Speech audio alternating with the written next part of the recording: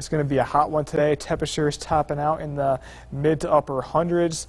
The good news is though, it's not going to be humid. Dew points do drop down into the 50 into the 50s.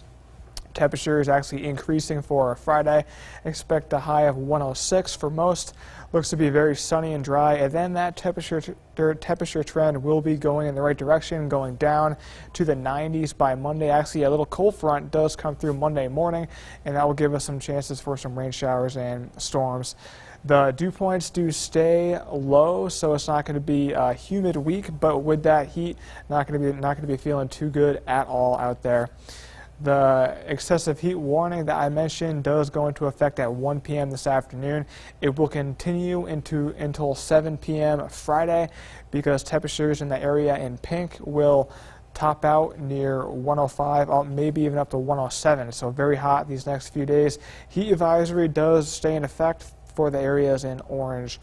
Winds out there this morning around 10 to 15 out of the south. Heading throughout the day, there will be a south-southwest breeze at around 10 to 15 miles per hour. And overnight, winds do stay out of that direction at those same speeds. So for today, it's looking sunny and dry, really no chance for rain and very few clouds. Then overnight, we're going to see clear skies as that dry weather does settle in. For Abilene today, it's going to be a scorcher, high of 105, very sunny, and then overnight we do cool down to near 80 with those clear skies. Brownwood today, a degree warmer, so very hot and sunny. Then overnight, temperatures down in the mid 70s with clear skies. There it is, rest of that seven-day forecast. Triple digit temperatures all the way through Sunday, but we are cooling down, cool down in sight. A little cold front does come through Monday morning.